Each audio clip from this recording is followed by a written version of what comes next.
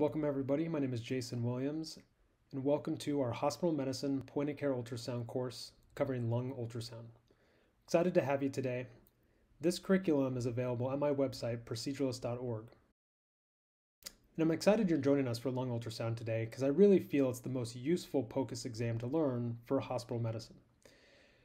When I look back at my first 188 patients I scanned on radar rounds, I consulted on hospital ward teaching teams, and I found patients where I thought ultrasound could potentially change their diagnosis and influence their management plans. And in fact, 53% of the time, we found something new that the primary teams didn't suspect about their patient. And if you look at the most common misdiagnosis, several of them are pulmonary related, including pulmonary edema, or when they thought the patient had pulmonary edema, it turns out they had a dry lung, or missed pneumonias. And when I go back and look at which point of care ultrasound exam changed diagnosis most frequently, 49% of the time, lung ultrasound added new information that the primary team was not aware of. Higher yield than almost any other domain in point of care ultrasound for our hospitalized patients. So, if there's any one ultrasound modality you're going to learn, lung ultrasound I think is one of the easiest and has the biggest influence in terms of making misdiagnosis more readily available to you and your patients. So there's a lot to cover here. I've broken it down into four parts. Take your time and work your way through slowly. These courses are available always at my website, and you can go back and reference them anytime. Here in part one, we're going to go over acquiring quality images, including how to get A lines and B lines and what that means. Part two, we'll go over some cases and apply that information to volume status and CHF management.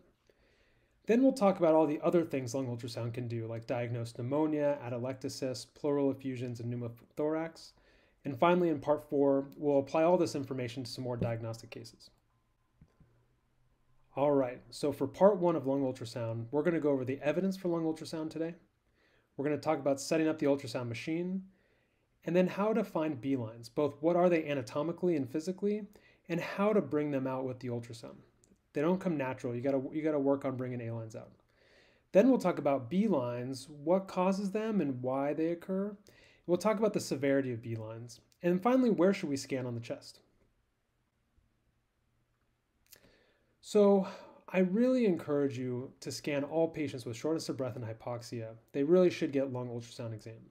If you compare chest x-ray, which we commonly get in most of our patients who come to the hospital with shortness of breath, Lung ultrasound outperforms chest x ray in terms of pneumothorax, pulmonary edema, pneumonia, and pleural effusion. The sensitivity for ultrasound is so superior compared to chest x ray. We're missing pneumothorax half the time, pulmonary edema 40% of the time, but the sensitivity for ultrasound is in the 90s. It performs amazing with similar specificity of ultrasound compared, compared to chest x ray. All right, now let's talk about setting up our machine. So first we have to select the right probe. You want to start with a low frequency probe most commonly. You can either use the phased array, which fits nicely between the ribs, or a curved linear probe. It has a wider footprint, so you'll get a little more rib shadowing, but potentially see multiple lung spaces. Either is fine. And we use these low frequency probes when you're looking for things like A lines, B lines, effusions, and consolidations. Sometimes we do want to use a high frequency probe when we're examining the pleura, specifically if you're looking for pneumothorax or subpleural consolidations, and we'll talk about that in part three of this series. But for now, let's stick with our low frequency probe because we'll be looking for A lines and B lines. So now that we've selected the correct probe, now we have to input some settings into our machine. So most ultrasounds, you're going to want to switch the ultrasound settings to abdominal imaging mode.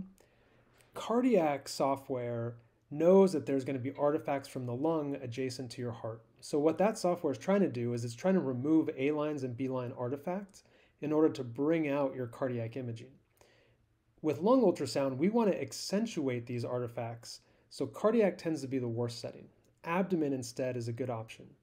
If your machine is more modern and has a lung ultrasound setting, these often accentuate those A lines and B lines and pleural sliding, so this can be a nice option. But be aware your overall image quality will decrease. So you may have trouble picking up pleural effusions, consolidations, or masses because it gets quite grainy as you try to accentuate these artifacts. So you have to decide, are you looking for A lines and B lines and pleural sliding, or are you interested in a pleural effusion or pleural masses, at which point maybe you should switch to abdominal imaging mode. Oftentimes we'll have to decrease the gain on our machine to bring out A lines and B lines, and you want to be sure to set the depth to 12 to 15 centimeters to really look for A and B lines as well. Okay, we've been talking a lot about A lines. Let's talk a little bit about normal lung ultrasound anatomy so we can start to orient ourselves to this terminology. So here's our phased array probe. The probe marker is currently pointed towards the patient's head. Here's their feet, here's their chest wall. Closest to the probe will be the soft tissue, which you can see here. Here's, here's fat and muscle. And then below that will be a bright white line that comes out from underneath the ribs. So here's a bright white line, which is the pleura, and here's a rib. And you see the ribs cause shadowing. You have darkness adjacent to each rib because the ultrasound waves can't travel through the rib, which causes a shadow. And then you have these interesting A lines that come down here that are equidistant to each other. So from this A line to this A line is the same distance to this pleura, is the same distance to the top of the screen. And this is normal lung ultrasound anatomy. Okay, what are A lines? If you remember one thing, A lines are air. So if it's an aerated portion of lung, that rules out fluid. So if you see A lines, that means there's no pulmonary edema, no effusions, no pneumonia. So what exactly is A lines? It's actually an artifact, a reverberation artifact.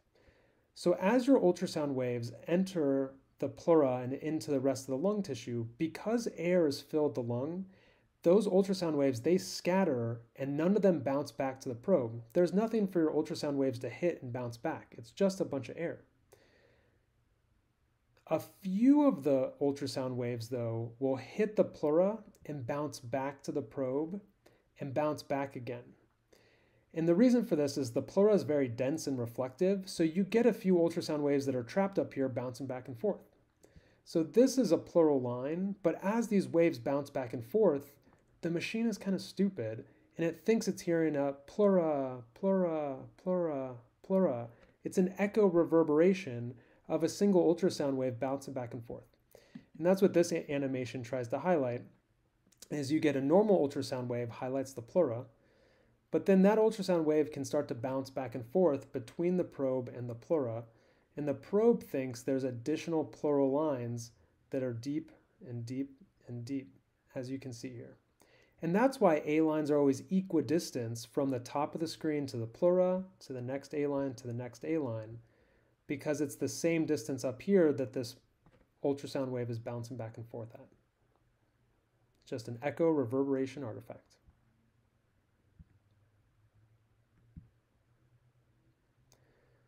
Okay, so how do we acquire this image that we showed? It, it doesn't come naturally, you gotta work for it. So first thing is when you put the probe on the chest, you want to identify the pleura. That's going to be a bright white line under the rib. So for instance, I see a shadow here. So right next to the shadow, this bright white line is going to be pleura. I see a bit of a shadow here, which means this bright white moving line is the pleura itself. You want to slide either towards the head or towards the feet to try to center this pleura. So in this case, I'd want this pleural edge to be more in the middle of the screen, and I'd do this by sliding the probe towards his feet, which would center, center this pleura. Here's a nice well-centered pleura with ribs on the side and pleural line right in the middle. Next, once you've centered the pleura, you can rock the probe to make it more horizontal. This pleura is at an angle, and if you rock the handle towards the feet or towards the head, that will, that will uh, make this pleural line more horizontal as well. And then once you have the pleura in the middle and horizontal, then you can start to fan the beam to the patient's right or to their left in order to get your ultrasound beam perpendicular to the chest wall. That's really essential for your A-line and B-line exam. You'll remember from physics of the ultrasound, if you send an ultrasound wave perpendicular to the pleura, you'll maximize the amount of echoes that are bouncing back at you. If your ultrasound is at an angle to the pleura, these ultrasound waves will pop off at a 90 degree angle and fewer of them return to the probe. And as a result, you have less of those echoes, echoes, echoes bouncing back and forth. So you've got to get your probe perpendicular to the pleura to bring out A lines and B lines. So what is the right angle? So Anteriorly, you're going to have to change the angle here as you start to circle around the chest. To get perpendicular, your probe is going to change angles in order to get perpendicular to the pleura depending on where you are in the thoracic cavity. And it's really important that you need to see at least one A line or B line for a diagnostic scan. So for instance, here's a rib that appears to be a shadow, and this looks like a pleural line. I see so a bright white echogenic line with movement, but there's no A lines. So I can't tell whether or not there's fluid or anything here because my probe is not perpendicular. Versus here, this is not the best image. We're, we should probably rock to make this, this pleural line a little more horizontal, but we have rib shadow, rib shadow, pleural line. And even though it's faint, this is a single A line. This is a diagnostic study, and there might even be a second A line appearing down here. And I know it's equidistant from the top of the screen to the pleura and from this A line to the pleura as well. So this would be diagnostic and this would be non-diagnostic. I really can't rule out pulmonary edema on this exam because I haven't found at least one A line. So if you can't find an A line, the most common reason is your, your beam is not perpendicular. So try fanning back and forth or rocking to get your probe perpendicular. Another issue is you may have too much gain. So here's an issue where the gain is too bright, and when you turn down the gain, you can see the A lines become more apparent. But finally, one of the more common reasons is that the chest wall and subcute tissue is just too thick. You can imagine if you're standing at the edge of the Grand Canyon and yell across the Grand Canyon, you're not going to hear an echo because the walls are too far away. If someone's chest wall is five centimeters thick, it's really hard to bring out A lines because fewer of the waves can get down to the pleura and bounce back and forth because they're being absorbed in this thick subcute tissue. You're just not going to hear an echo, echo, echo because the pleura is so deep. And that's probably the issue in this case is the pleura is just too deep, the chest wall is too thick. Okay, next we've talked about A lines. What are B lines? So B lines are bad. It's usually some pathology. Most commonly, it's going to be cardiogenic pulmonary edema. Could also be seen in pneumonia, ARDS, and interstitial lung diseases as well. What are B lines exactly? So normally, if you look at your intralobular septa here, most of it is filled with air. You have these yellow al alveoli filled with air, a few lymphatic vessels and intralobular septa here, but they're so thin you really can't conduct ultrasound waves through this air-filled intralobular unit of lung. But when you fill this unit with more fluid, now it becomes more dense and you can start to transmit sound waves through the intralobular septa. They've thickened to the point where you can actually send single sound waves in here. So what causes thickening of the intralobular septa? It's basically anything that causes ground glass opacities on chest CT. As you start to put fluid in here, whether it's CHF or pneumonia, you can transmit sound waves. But the other thing to think about is pulmonary fibrosis. That fibrotic lung tissue thickens the connective tissue in the lung and interlobular septa, and that'll also cause a lot of B waves. So B lines are ground glass opacities or pulmonary fibrosis on CT. It's very similar pathology. Now let's make sure we can recognize B-lines versus normal artifacts. So the characteristics of B-lines include these laser-like vertical spotlights. They should extend to the bottom of the screen, which is why we set our screen depth to 12 to 15 centimeters. And as spotlights, they should widen as they approach the bottom of the screen and become more prominent. And they move with lung sliding. As those thickened interlobular septum are moving up here as the lung slides, so should the B-lines as well this image, you may be confused and wonder if there's a vertical line coming here. When in fact, this is just normal lung artifact.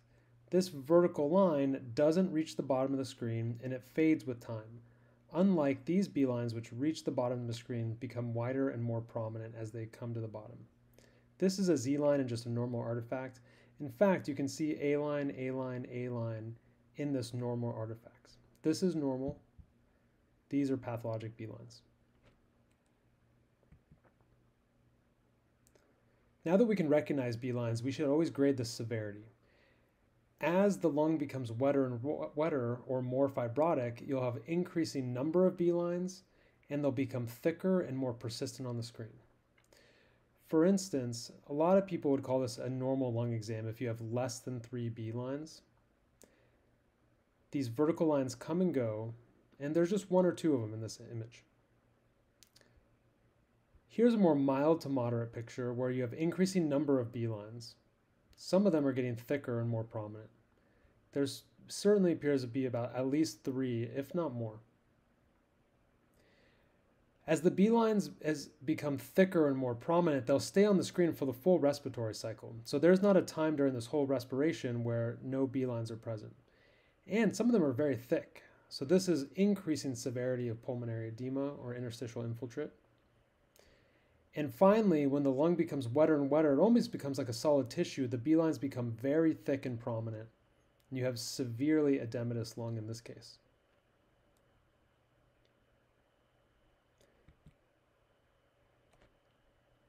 I think that normal lung can have less than three B lines, but if you find a lot of B lines widely distributed that are two B lines here, one B line there, another two lines there, that could be abnormal and could be mild pulmonary edema. So let's look at this controversy, whether one to two B lines could be pathologic. So if you look at a lot of, a lot of the literature, they define pathologic number of B lines as three or more. Some of the reasons that number uh, arose, because it definitely predicts CHF readmissions, and it's commonly used for research protocols. The thought was originally you could have one B line if you place your ultrasound probe right over the fissure of this lung. And this pleural fissure will allow you to use see ultrasound waves traverse into the fissure and you may get a single B line. And maybe what if you put your probe right here at the fissure between the right middle, right upper, and right lower? Maybe you'll get two B lines on the screen as ultrasound waves traverse into this fissure. Also, occasionally, some patients may just have a little bit of mild pulmonary edema in the posterior lung zones that could be one to two B lines just from gravity alone and may not be pathologic. So if you just see one to two B lines and it's just in one location here or one location there, that's probably not pathology, could be normal variation. But if you see multiple lung zone with two B lines here, two B lines here, two B lines here, that could be a widely distributed but mildly edematous lung. And here's a study that proves that point. So this is a nice scoring mechanism where they looked at ultrasounding four different lung zones in the upper and lateral areas of each hemithorax. And they added the total number of B lines in these four zones in patients that had CHF. And at the time of discharge, they asked which one of these patients come back. And if their total B line score was seven or more, there was a statistically significant increase in heart failure hospitalization or death. So, in other words, if you had two B lines here, two B lines here, two B lines here, and two B lines here, that would be eight total B lines. You were much more likely to come back with CHF because your lung is still wet.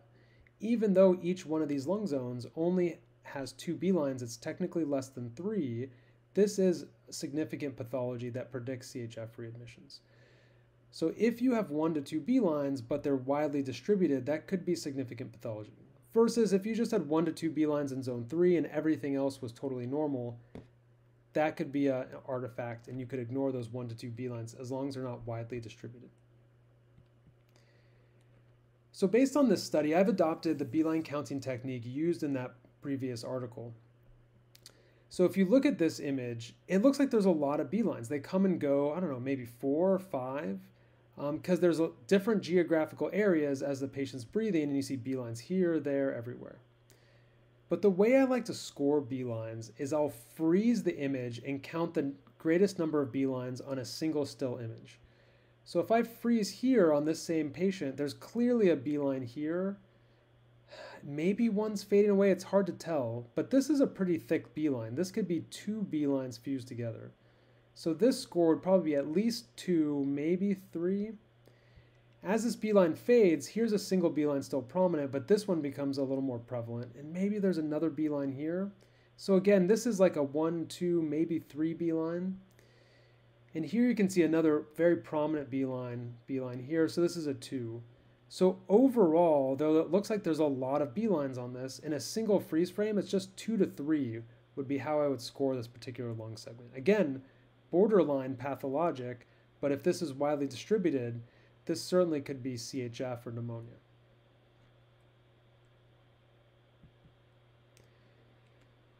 So where should we scan when we're doing lung ultrasound? There's no one consensus, but in general, the more zones you scan, the more sensitive you'll be for picking up pathology. Remember, we're only examining the pleura directly under our probe.